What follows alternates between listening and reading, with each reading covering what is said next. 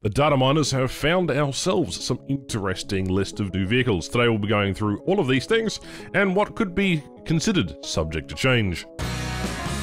Gaijin Entertainment is known for producing a wide variety of products such as War Thunder, Crossout, Star Conflict, Enlisted, and there are a couple of other titles which I have missed. But essentially, what you get is a wide range of development. Now, this is posted to the War Thunder Reddit, and essentially, Gszabi uh, posted a list of new aircraft in the Community Development Kit, also known as the CDK, specifically with a whole list of different things. Now, there's a picture library, and we're going to go take a look at the picture library because that I feel is a little bit more interesting. Uh, and with that being said, though, don't expect these things to come to game right away. There is quite a lot of other interesting things that could be happening. And what I mean by that is think of it more like a list of things, not necessarily something that you could, I guess, tick off, but, you know, take it as something you'd categorize into what is likely to be added and what isn't. Anyway, the first real interesting thing is the H145M. Now, essentially, it's a civilian German Bundeswehr helicopter. Don't think it was armed, but in, in saying that, it's not necessarily uh, that interesting, aside from the fact that it could hold up to 152 rockets from 30 uh, or 36 tube-launched optically tracked wire-guided tow missiles. Now also keep in mind that this might be categorized into several different factors here. Obviously the vehicles themselves will uh, are pretty interesting, but could they be tournament vehicles, World War mode or top squadron vehicles? Could they be RNG or not guaranteed vehicles? Are they going to be build event or builder event vehicles? Are they going to be an Operation Salvo or a standard task-based events? Or are these vehicles going to be necessarily something that is more, uh, I guess, a battle pass? Or maybe Twitch drops? Now, we've got another uh, M4375, the A20A. Now, I believe this is an American one, so America is really the only one that doesn't really have an A20A, or at least the early versions. Oh, it's the Panzerkampfwagen uh, 38 uh, uh, NA. So the early prototypey version of the Panzer 38. It was an upgrade package for this thing. Based on the Panzer 38 chassis, I know they have made armoured recovery vehicles of this thing, so that must be Swedish. Uh, and then we have another Swedish vehicle, the Seal uh, C113 T90. The SDKFZ 251-9. So, you like your little dirt wagons, well, you can get another one with one of these guns on it. But this really strikes me as odd, okay? This isn't something that I was expecting to see. Cessna 208. What in the blazes is a Cessna 208 doing here? And as someone who flies general aviation, why is there a Cessna 208? I'll link to a, a video by Volpanaut who has actually explained and did a little more in-depth research regarding how uh, Gaijin is developing another product, right? It's called To the Sky, right? It's it's Gaijin's new flight simulator. Anyway, if you want to watch that, and then a PKV IV. Another float bomber, again, we discovered that in the data mine there was, or at least the older version, three years ago, that there were four versions of the PBM. Uh, the There's already one in game, we've got the three. Something interesting, actually. Leopard 2 PT-14. There you go. Now that's a Schützenpanzer, so basically the upgraded Puma. There you go, if you wanted a Puma, that looks pretty alright. Ah, now we're getting another another scooter, right? An A4M. Beautiful. What what in blue blazes is that? Fantastic. With boosters and all. It's got the CamelBak on the top. Beautiful. Just what we needed. Another Skyhawk. The hood. Oh god. Uh, I'm not going to even cover that one. Uh, the Alaska for uh, battle cruiser. There you go. And something actually interesting. The H56A. The uh, SDKFZ 25122. What appears to be a, is that a Pak 43?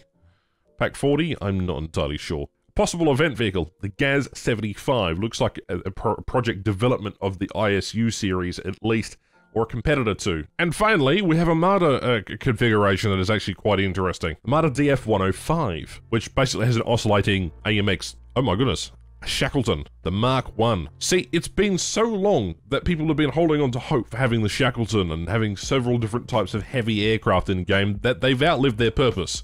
I'd say that majority of the times that War Thunder is not necessarily, nowadays, catered towards these bomber pilots. If only we had a different game mode called Enduring Confrontation where these types of aircraft could be useful. Okay, another Leclerc version. What on the fuck is that? A Rooikat with what appears to be some sort of missile system. It has to be a surface-to-air missile system. There is no no doubt about that. It can't be a tow system, or it, it can't be necessary. Actually, no. This was one of the vehicles that was in the teaser trailer for the Ixwa Strike, the T-54E2. Now we have already have the E1 in game, Vickers Mark III, okay, another export version of the Vickers, that's always good to see. The Yay uh, 64, basically an Apache. The MT-460 Super Mystere B2, which again is a bit interesting because this is Israeli. This vehicle is an interesting one, and I'd love to see it. Not the Cessna 172, but the 152. For fans of the F5, there is another variant of them. Great. Another horde of them are going to be roaming around. Followed by the float plane uh, version of the 152. Interesting. This will be a great event vehicle for War Thunder one day, hey? Uh, followed that up by the Viggen. What looks to be a Viggen.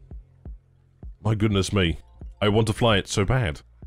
This should have been in the previous patch for rank 7. So there you go, there's a rank 7 aircraft that'll be coming to War Thunder. I can't wait to get my hands on that thing. Uh, and then a Swedish version of the Huey, so Swedish helicopters soon, see ya. A naval variant of the P-59. Let's go have a look. Is there a P-59, a naval P-59? What would they call it? But there is the M6 Little Bird, which is the US Army Scout helicopter, I suppose. We have another strike aircraft of sorts, another bomber, this time for the RAF. We have a later variant of the Shenyang. This is the P40, uh, sorry, P30, well, hang on, what's it called? This one is the P something or other. P35, this is basically a predecessor to what we already have in game is the P43. There is the F1F5. I don't know which model it is, whether it's an A or whether it's a V. Um, but there it is. Which is a vehicle which you can play in World of Tanks. Is essentially a French light tank. What looks to be another radar vehicle for an American-based chassis, I presume. Followed up by the Type 10. There we go. Japan mains, hooray, you finally get an upgraded Type 10. That's fantastic. Uh, and then there's obviously this thing. Oh, you can't go anywhere with this thing. What is that called? A Type 3 Kachi. Well, there you go. There you go, another float plane. Uh, well, float plane. This is a float tank. I wonder if this thing will be amphibious. It better be amphibious. Game, another version of the Avro Shackleton this time a later variant. High interception, uh, what looks to be a Mark 7 Spitfire. Now this thing actually has the world uh, highest engagement, or let's, let's say confirmed kill of World War II. I think it shot down a, a special pressurized Ju-88. And now we get to the wonderful, weird, and wacky. Now these have been in the game for well, at least a, a while. I, I've seen reports of these posted around. These are your cruiser tanks new mechs. If you can see, for France, I've got the IBM Bat, the M1942 for Germany, the Tiger uh, Alves B41. So again, this is pretty interesting. Um, and there's all these kind of new uh, mechanized units. I'm go over these here. Look at this King Tiger here with all its extra armor on board. Got your Panther 2 looking mech warrior. When, when can War Thunder become a mech game? Oh look, there's an anti-air version of the same mech warrior with the M42 Duster and a couple of Panzerfausts. And then the most ungodfully uh, forsaken whatever the hell this is. This is going to give me nightmares. Look at that. What looks to be... But the funny thing is that's got an... Is that an IS turret or is that an Australian turret? Yeah, I would make sense for something like that to come out of Australia, wouldn't it?